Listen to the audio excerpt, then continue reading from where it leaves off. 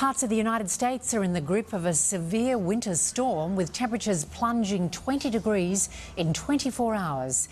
The freezing conditions are threatening power supplies in some of the major cities and causing chaos on the roads.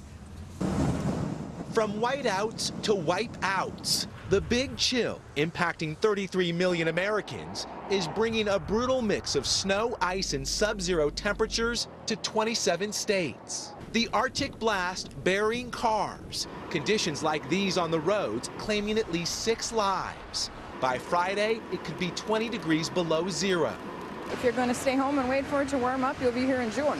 We haven't seen anything like this for a while this early in the season. Across much of the West, temperatures could plummet 40 degrees below normal. In Utah, the freeway's a nightmare. More than 300 accidents today alone. In Minnesota, at least 175 crashes since midnight. A winter blast battering half the country and tonight threatening to paralyze even more of the nation.